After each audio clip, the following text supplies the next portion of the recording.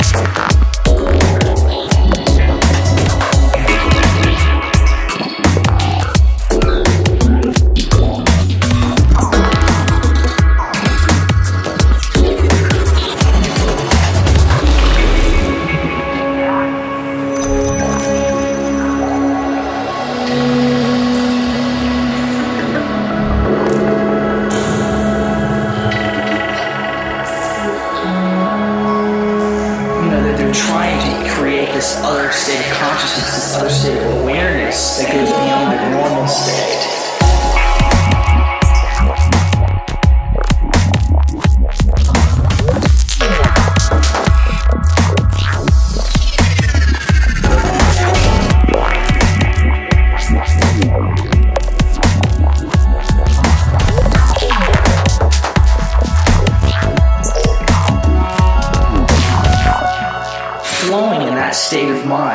Environment you're in. They kind of walk around and they're just, just reflecting the fact of what they're experiencing.